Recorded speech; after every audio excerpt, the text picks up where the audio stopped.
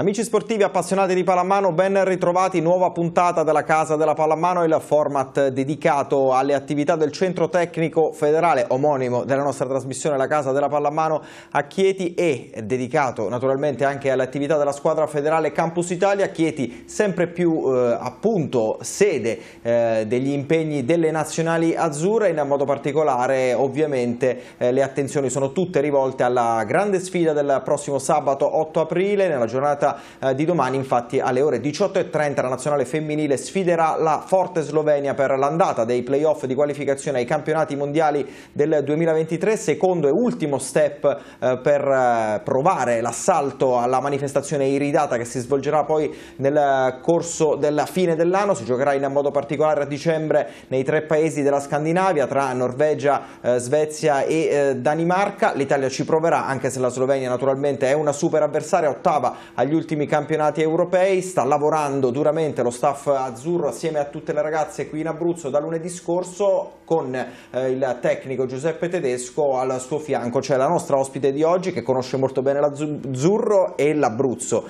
eh, perché ha vinto con la maglia del Teramo, saluto con grande piacere la vice allenatrice della nazionale italiana Elena Barani. Ciao, grazie Matteo e buonasera a tutti.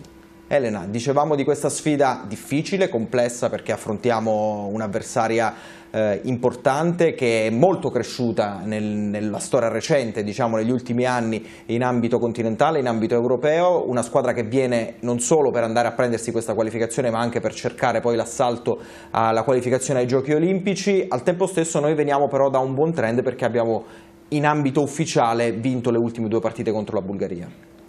Sì, sicuramente i percorsi delle rispettive nazionali sono diversi. Loro sull'onda lunga dell'europeo che hanno organizzato anche in casa sicuramente vengono da un ottimo risultato a livello continentale e possono annoverare tra le proprie file delle giocatrici di grande esperienza e di grande caratura europea e mondiale. Noi stiamo cercando di affacciarci nella pallamano che conta e quindi affrontando questo tipo di nazionali sicuramente ci mettiamo alla prova ma vogliamo anche cercare di dire la nostra perché in Europa è difficile giocare a pallamano perché tutte le nazionali sono veramente forti però ecco eh, siamo anche noi entusiaste di quello che stiamo facendo le due eh, sfide con la Bulgaria sono state un buon banco di prova e le abbiamo secondo me superate in maniera brillante e adesso siamo pronte per il prossimo ostacolo. Alzare il livello è il mantra di questa nazionale, un livello livello che si alza necessariamente alzando anche il livello delle avversarie in questo le due sfide contro la Slovenia rappresentano un gradino da salire necessariamente, ne parliamo nel servizio. Alzare il livello. Se c'è un imperativo che l'Italia femminile ripete a se stessa da lungo tempo è proprio questo, alzare il livello. Il proprio, prima di tutto, e di conseguenza quello delle avversarie con cui misurarsi. Il percorso è lungo, passa per banchi di prova, il più possibile di stampo internazionale passa inevitabilmente per i risultati. Era novembre e con le vittorie contro la Bulgaria tra Varna e Chieti le azzurre si guadagnavano l'accesso al secondo e ultimo turno di playoff per le qualificazioni ai mondiali 2023. Ora, dunque, quel livello si alza e nella casa della pallamano arriverà la Slovenia ottava agli europei del dicembre scorso e per questo favorita per il passaggio del turno. L'Italia, che intanto si è radunata proprio al centro tecnico federale lo scorso 2 aprile, ricomincia dalle sue certezze. La nuova linfa delle giovanissime, i progressi di gioco evidenziati sia a novembre che nel torneo di battaglia in Portogallo il mese scorso e ancora la fame di volersi ritagliare uno spazio in campo internazionale. La lista delle convocate a disposizione di Giuseppe Tedesco tra new entry e conferme ha subito un paio di variazioni rispetto alle recenti uscite. La più rilevante è legata al nome di Annika Niederwieser. Se non altro per l'esperienza maturata in Bundesliga dal 2016 a oggi, il terzino sinistro originario di Bressanone fresca di qualificazione alla Final Four di European League con la maglia del Thüringer rappresenta un inserimento di prim'ordine nella sempre più rodata intelaiatura azzurra. Per tutto il resto è l'Italia che conosciamo, giovane prima di tutto, visto che appena 6 atlete su 19 superano i 25 anni. Le abbiamo analizzate a fondo, dobbiamo rispettarle come se stessimo giocando contro Francia o Norvegia, ha detto Draganazzi Macic, tecnico della Slovenia che intanto si allena a Lubiana e che stando alle ultime notizie provenienti dai media locali lo fa senza le indisponibili Omoreghi e Mavsar. In dubbio anche la mancina Anna Gross alle prese con problemi alla schiena. Questo non cambia comunque di una virgola la rilevanza dell'avversario e il grado di difficoltà elevatissimo del doppio confronto che attenderà l'Italia. Alzare il livello, si diceva. Tra l'8 aprile a Chieti e il 12 aprile a Lubiana l'opportunità sarà duplice e da non sprecare. Abbiamo fatto il punto nel servizio, ecco, riprendo le parole che abbiamo utilizzato spesso nel corso appunto del servizio che abbiamo appena visto. Elena, alzare il livello, ovvero volontà da parte di questa squadra, una squadra giovanissima peraltro, di misurarsi con avversarie forti, lo abbiamo già visto nel torneo che ha preceduto e che precede appunto queste due sfide contro la Slovenia, quindi sia Portogallo, soprattutto Spagna che è una delle squadre al top della pallamano mondiale, la Slovenia però non è da meno. No, noi piano piano, gradualmente e sempre in maniera più brillante spero stiamo cercando di costruire la nostra credibilità. La Slovenia ad esempio l'ha già costruita, la Spagna ancora di più forse e il fatto che ci siano delle ragazze giovani naturalmente è molto positivo e si stanno facendo le ossa proprio affrontando questo eh, cammino graduale. E penso che per loro sia una grande soddisfazione già affrontare una squadra come la Slovenia, però c'è anche la freschezza della gioventù, quindi nel senso l'esperienza eh, si fa piano piano, loro comunque portano anche una grande, una grande dose di talento perché secondo me abbiamo delle giocatrici eh, nella batteria dei terzini ma un po' ovunque ali, pivot che possono veramente eh, ricostruire un po' quello che sarà il futuro dell'Italia eh, femminile. E quindi devono solo, solamente mettere tutto quello che hanno con, anche con orgoglio perché magari le altre nazionali possono pensare che l'Italia non sia al loro livello e quindi perché no, potremmo anche sorprenderle facendo, facendole ricredere sul nostro status. Vediamo in grafica l'elenco delle convocate che sta lavorando dallo scorso eh, 2 aprile a Chieti, un elenco delle convocazioni che deve fare a meno della infortunata Ramona Manojlovic, una di quelle giovani talentuose di cui parlavamo poc'anzi che a causa di un problema alla spalla ha dovuto lasciare il ritiro azzurro. Spenderei però due parole su Annika Niederwieser, eh, una ragazza che dopo un lungo periodo, anche dopo due brutti infortuni alle ginocchia, dopo quasi cinque anni torna a vestire la maglia della nazionale. Nei giorni scorsi avete anche giocato un amichevole contro Teramo, ha vestito già la maglia in amichevole e lo ha fatto almeno per quello che abbiamo visto con grande entusiasmo, grande voglia di mettersi a disposizione del gruppo. Sì, naturalmente Anika al pari anche di tante altre giocatrici che giocano all'estero, comunque giocano anche nel campionato italiano, sono un patrimonio imprescindibile della nostra nazionale e assolutamente è tornata in punta di piedi da grande professionista, è secondo me un esempio per le altre, però eh, si sta allenando con grande volontà, con grande impegno e si mette a disposizione delle altre e poi eh, uno sport di squadra, la pallamano naturalmente, quindi ognuna porta il proprio contributo, ognuna è importante per la causa della propria nazionale, però ecco, siamo molto contenti del suo rientro, come siamo contenti di tutte coloro che ogni volta che c'è un raduno rispondono presente con grande entusiasmo. Vediamo anche in grafica l'elenco delle partite che si giocheranno e che caratterizzeranno questo fine settimana e poi l'inizio della prossima, andata e ritorno per questi playoff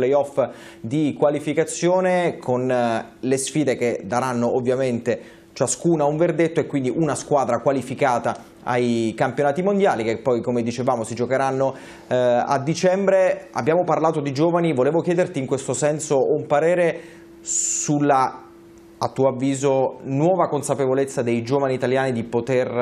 eh, diciamo, intraprendere un percorso nella pallamano? Abbiamo visto diverse ragazze, prendo Giulia Fabbo per esempio come, eh, ecco, come nome simbolo, scegliere esperienze di altissimo livello all'estero, lei ha scelto eh, ha avuto la possibilità di arrivare nell'Accademia del Metz, è accaduto lo stesso per tanti ragazzi al maschile, sono arrivati anche dei successi, il Championship che è stato vinto di seconda divisione qui a Chieti nel 2021, i campionati di seconda divisione vinti a Tbilisi al maschile e poi i campionati europei di prima divisione con la salvezza ottenuta, insomma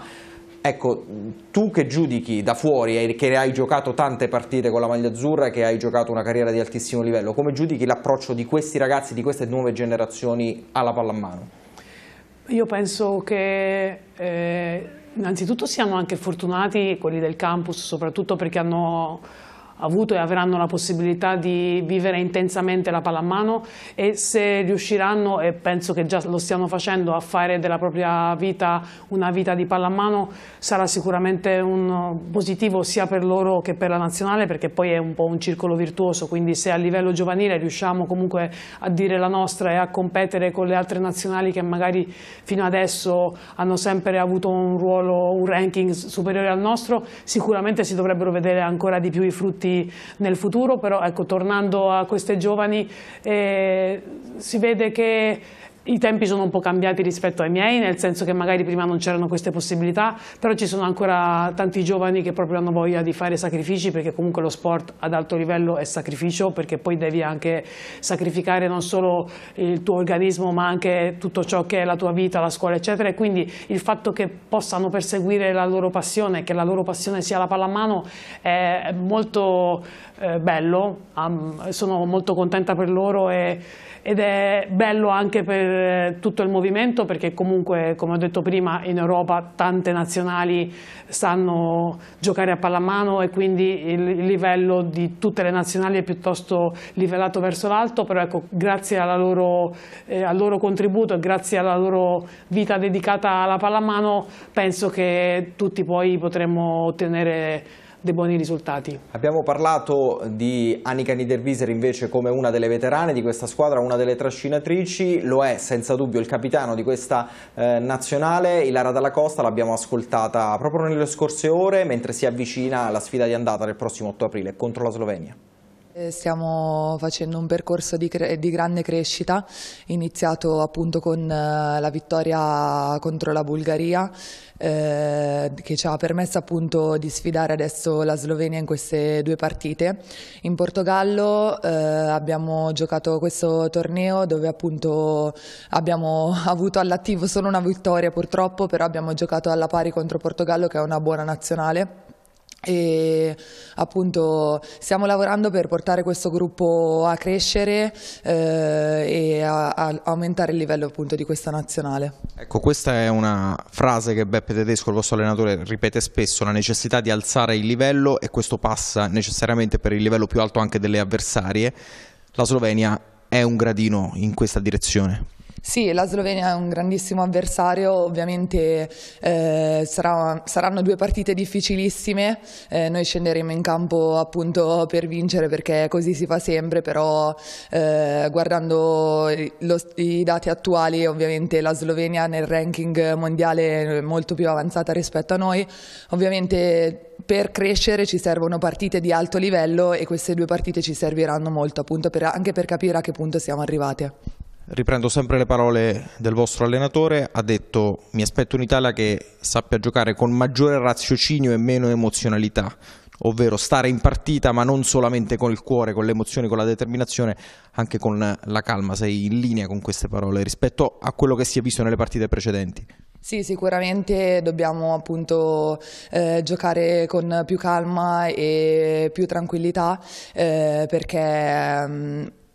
cercando di commettere meno errori possibili perché a livello internazionale con avversari di questo tipo un piccolo errore significa contropiede, gol subito e quindi appunto dobbiamo cercare di sprecare di meno e di stare tranquilli e non eh, lasciarci andare le emozioni di giocare contro un avversario così forte. Intanto a microfoni spenti ti chiedevo un parere, visto che Lara Dalla Costa ha debuttato in casa da capitano della nazionale contro la Bulgaria nel novembre scorso, quindi è giovanissima come capitano della nazionale, ti chiedevo un parere e tu mi hai detto stesso numero di maglia, intanto era una garanzia, tu sei stata capitano della nazionale per, per lunghissimo tempo, per lunghi anni, però eh, ecco un ruolo di responsabilità, un onore e un onere essere capitano della nazionale. Assolutamente sì, ma penso che sia un tributo a, a lei come atleta e come carriera anche che sta svolgendo e devo stare attenta a quello che dico a microfoni spenti, comunque assolutamente siamo contenti, sono contenta di come stia interpretando il ruolo perché eh, non è facile. Eh, assumere la posizione di leader, però secondo me eh, lo sta facendo in maniera egregia e anche lei dà l'esempio e poi ha pazienza in certe situazioni e cerca sempre di spronare eh, in meglio le, le, le, compagne e ricollegandomi poi a quello che stava dicendo lei assolutamente secondo me dobbiamo anche avere un pochettino più di fiducia nei nostri mezzi perché a forza di essere considerate diciamo cenerentole poi magari pensiamo di non essere all'altezza di certi palcoscenici o di certe avversarie però secondo me lo siamo però ne dobbiamo prendere consapevolezza. Evitare la reverenza nei confronti di avversarie più prestigiose, di avversarie almeno eh, per quello che dice il ranking più avanti come nel caso della Slovenia lo hai detto tu, lo ha detto Ilara Dalla Costa, lo ha detto anche Beppe Tedesco, ospite nei giorni scorsi della trasmissione curata dalla federazione Handball Mania. Ascoltiamo. Mi aspetto una Slovenia che è arrivata ottava alle europee, come giustamente diceva nella sua presentazione Matteo, che magari ha qualche assenza, ma non è sicuramente la squadra che ha giocato in Slovacchia perché chiaramente Gross sarà nelle, nelle 16 giocatrici, sicuramente Zulic che è la centrale titolare non ha giocato in Slovacchia e quindi una giocatrice straordinariamente forte e, e, quindi una Slovenia che ha un preciso programma, vuole arrivare alle Olimpiadi del 2024 e le Olimpiadi come tutti sappiamo purtroppo anche in Italia è il sogno di tutta una nazione, quindi sicuramente non ci sottovaluta dal punto di vista dell'impegno perché sanno che devono passare attraverso questo passaggio, ma mi aspetto una Slovenia che al di là dell'ottavo posto, se andiamo nel concreto, ha pareggiato con i campioni d'Europa, ha pareggiato con la Norvegia, ha battuto la Danimarca e quindi è una squadra che probabilmente vale eh, le prime 4-6 posizioni del ranking mondiale. Quindi mi aspetto una partita importante, ma soprattutto condivido una cosa, che noi da un po' di tempo diciamo che vogliamo alzare il nostro livello ed è stato espressamente detto, e io dico che è perfettamente vero,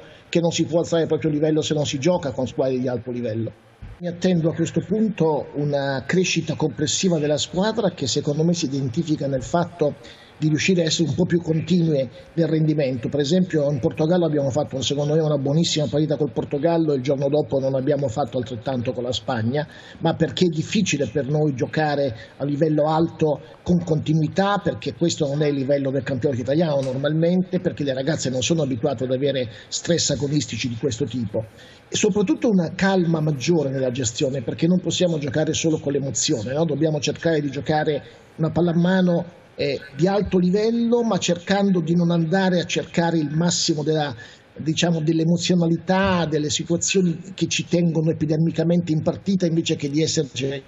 razionalmente. Ecco, questo è un tentativo che non sarà facile, ma penso che mano a mano che giocheremo queste partite saremo sempre più capaci di farlo. Elena, ti ritrovi nelle considerazioni di Beppe Tedesco? Assolutamente sì, perché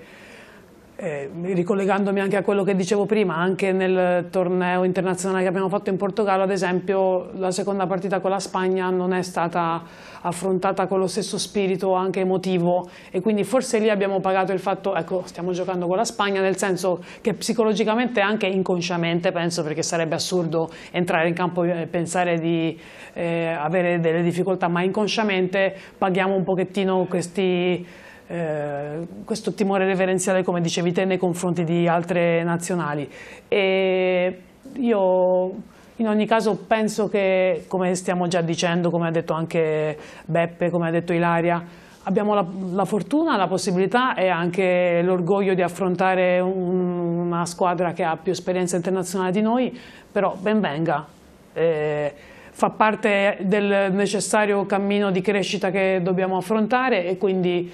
Mm, qualsiasi cosa viene fuori sicuramente può essere un successo e poi eh, da, da lì punto di partenza per il gradino successivo. Poi c'è da dire che abbiamo parlato di un tipo di approccio mentale in termini di determinazione, ecco di approccio appunto alla partita poi chiaramente c'è il campo, la partita bisogna giocarla, ci sono le giocatrici, c'è la tattica e quant'altro. Che Slovenia troviamo dall'altro lato e come stiamo lavorando per affrontarla da questo punto di vista? Abbiamo analizzato le, le, tutte le partite che la Slovenia ha fatto agli europei, nel, invece mentre noi siamo andati in Portogallo loro hanno affrontato due partite amichevoli con la Slovacchia in una formazione però rimaneggiata. Notizie dell'ultima ora dicono che potrebbero avere delle defezioni rispetto alla, al roster che ha partecipato agli europei. Naturalmente finché non ci sarà domani il fischio d'inizio alle 18.30 non possiamo sapere in che modo e con che tattica affronteranno la gara, però per quello che possiamo stiamo analizzando i video, stiamo comunque anche lavorando molto su di noi perché naturalmente non possiamo snaturare la nostra identità, noi abbiamo il nostro gioco, cerchiamo di lavorare sul nostro gioco difensivo e offensivo, naturalmente cercando di adattarlo a quelle che sono magari le avversarie più pericolose della Slovenia, però ecco cerchi di preparare tutto quello che puoi e poi naturalmente sarà il campo a decretare il vincitore e farà la differenza sicuramente anche l'approccio di cui abbiamo parlato fino adesso. Ore 18.30, gara che sarà trasmessa in diretta su Eleven Sports, per tutti quanti invece vorranno essere sugli spalti della casa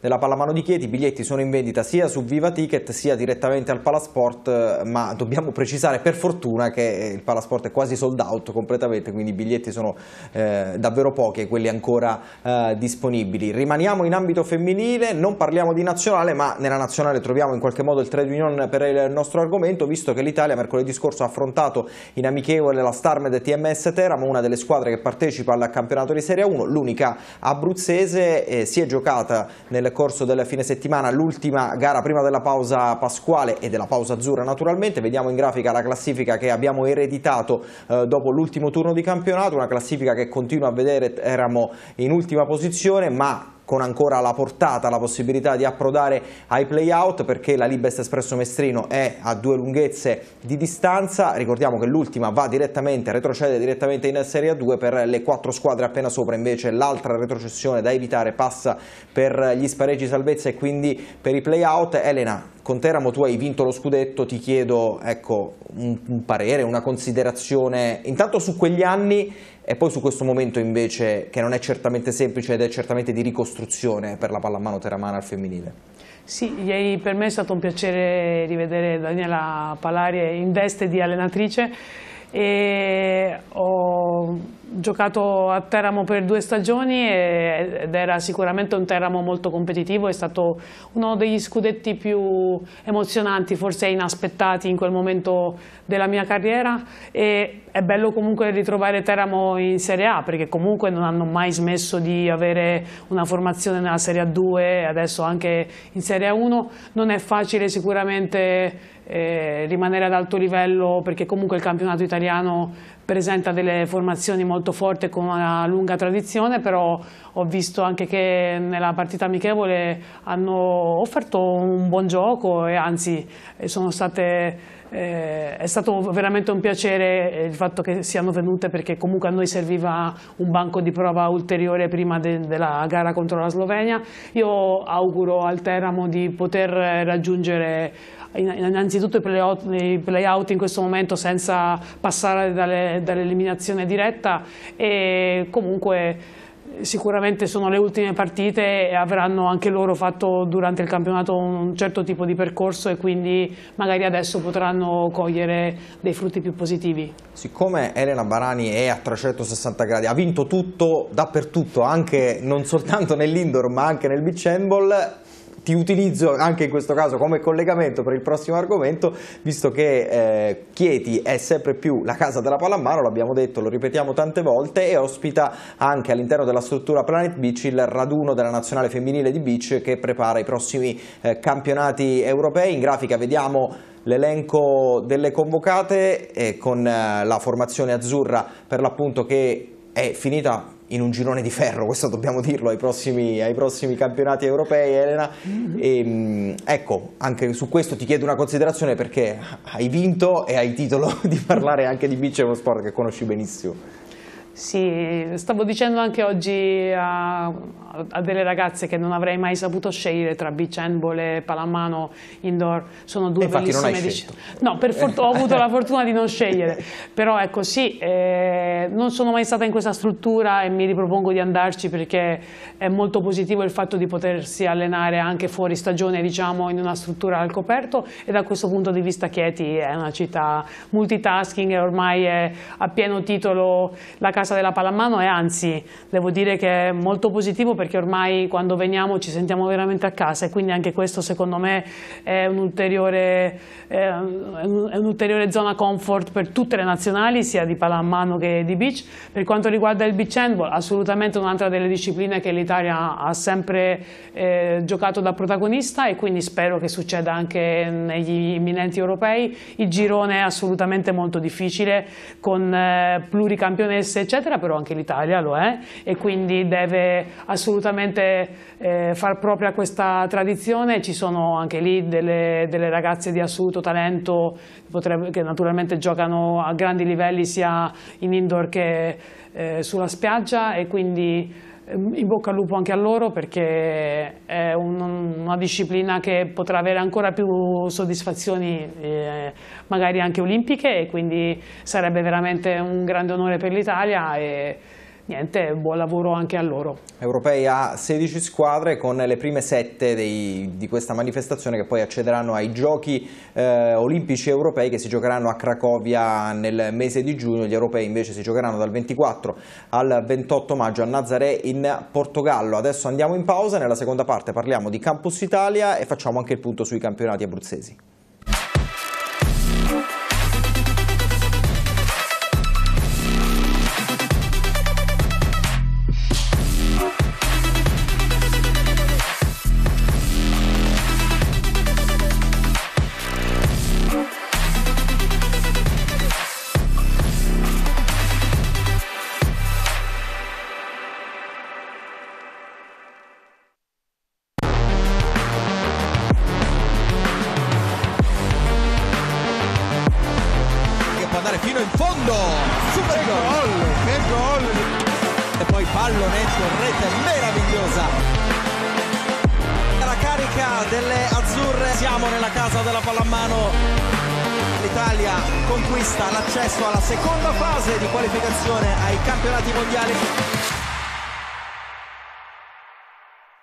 So già che tutto quello che abbiamo vissuto insieme sarà un ricordo indelebile.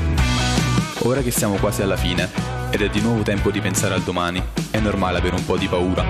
Ma non una paura che ti blocca, è più adrenalina, è come quella che senti prima di una partita. E allora c'è solo una cosa da fare. Scendere in campo e dare il massimo.